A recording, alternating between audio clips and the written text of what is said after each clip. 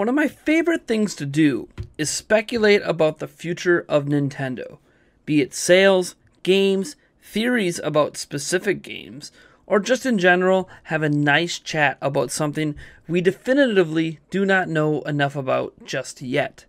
Today, I want to take a different spin on this idea and speculate about the woulda, coulda, shoulda scenario.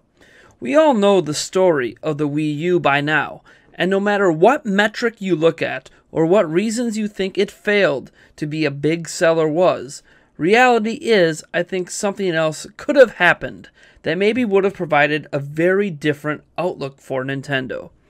What if instead of releasing the Wii U as a new generation system at the end of 2012, it instead released a Wii HD during holiday 2010?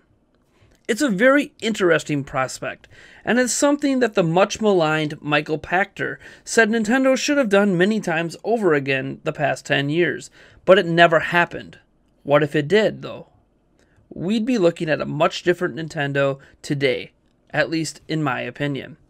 The Wii itself was a smashing success, 100 million units, a 9 to 1 game to console attach ratio, and the system itself literally made Nintendo billions of dollars.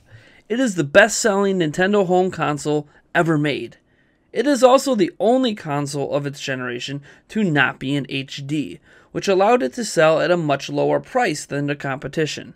This made sense in 2006 when HD TVs had a less than 50% penetration into the home environment.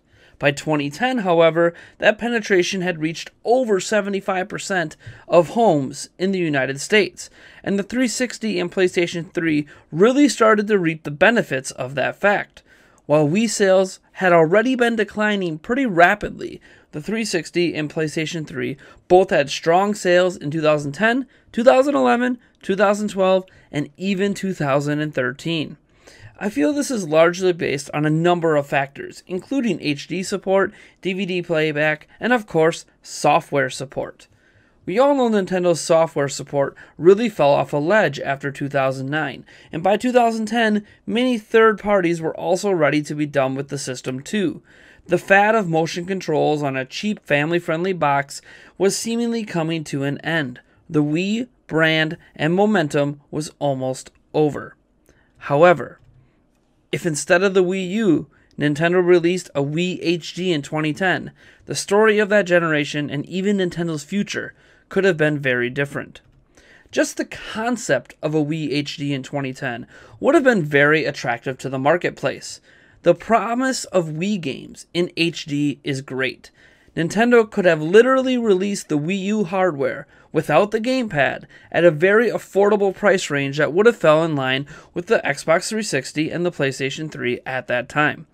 It would have had an easily understood name in the marketplace, and better yet, an easy to understand concept. You are now getting an HD Wii. Now, this delivery wouldn't have been easy. Nintendo would have needed to create at least 720p, if not ideally 1080p, texture packs for all of their released Wii titles, and made it easy for third parties to do this too. But imagine a world where Nintendo did just that. Free HD texture updates to the entire Wii library people already know, you not only could still bring in a new consumer base, you convert a large chunk of the already existing Wii audience who are ready for gaming in HD in the first place. In addition, all future Nintendo game releases would also support the Wii and the Wii HD, with the texture pack being the only difference. More importantly, you're far enough removed from the start of that current generation that a looming Xbox One and PlayStation 4 would be far enough off on the horizon as to not overshadow the device and that means that full AAA third party support would have made a lot of sense.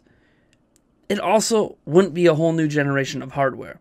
This is akin to a PlayStation 4 Pro situation last year, except in a scenario for Nintendo where it actually made even more sense than it does today, since there is such a low penetration level of 4K TVs, especially back in 2016. Also, if Nintendo really loved that gamepad concept, it would have made more sense as an accessory you could buy with the Wii HD on the side, or maybe as a higher priced bundle. And who knows, maybe that would change the entire viewpoint of the gamepad itself.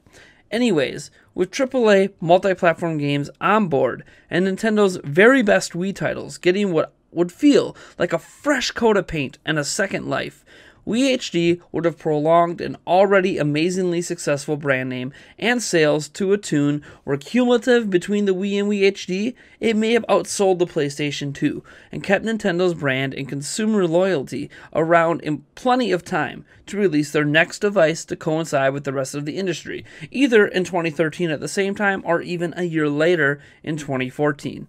Of course, we all know this didn't happen and if it did, it's possible the Nintendo Switch never exists. It's also possible that the Nintendo Switch may have still existed anyways, and could have launched as soon as 2014, when the Tegra X1 came into existence and long before anyone even thought a PlayStation 4 Pro and Xbox One X would even be a thing. While it would still be underpowered and maybe even launch at a $50 higher price tag, you would have carried a lot of that Wii audience into the launch hype, like Sony did with the PlayStation 4 coming out of the PlayStation 3 era. You would have also been positioned to potentially release a new Switch in 2017 with a Tegra X2 and 4K output for those that want that. Or, if nothing else, to help put the system on par with the standard PlayStation 4, something perfectly acceptable in 2017, especially for a portable.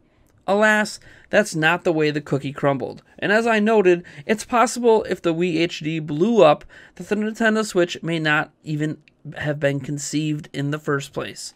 Of course, I bring this to your folks' laps. If Nintendo went the Wii HD route in 2010, as I described above, what do you think would have happened? Do you think it would have changed their forecast? Would we have gotten the Switch sooner, later, or not at all? How would the gaming landscape change? Or would it not change at all? More importantly, do you like this what if style of video? Let me know in the comments below. As always, I am Nathaniel Rumpleljans from Nintendo Prime. If you like this video, you know what to do. If you dislike it, hit that dislike button. Subscribe for more videos like this. And hey, if you really love what we do, we do have a Patreon at patreon.com slash Nintendo Prime where you can submit as little as $1 to us per month just to show your love for our content or $5 to gain early access to our podcast. And we have stretch goals there that allow us to create more video series and make our podcast more regular and even launch a second podcast that talks about a little bit more than just Nintendo because hey, even though we're Nintendo Prime, we understand there's more going on in the industry, right? Anyways, I will see you guys in the next one.